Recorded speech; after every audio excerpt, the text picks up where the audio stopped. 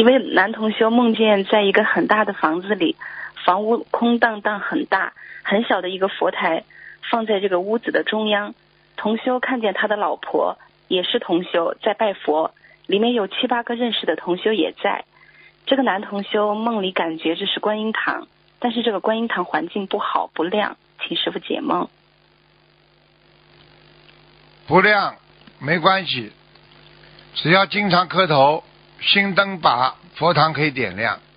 好了，嗯，好的，感恩师傅。心诚则灵，不亮的话说明菩萨不常来，经常磕头嗯菩萨就来了，听得懂吗？嗯，啊感恩师傅。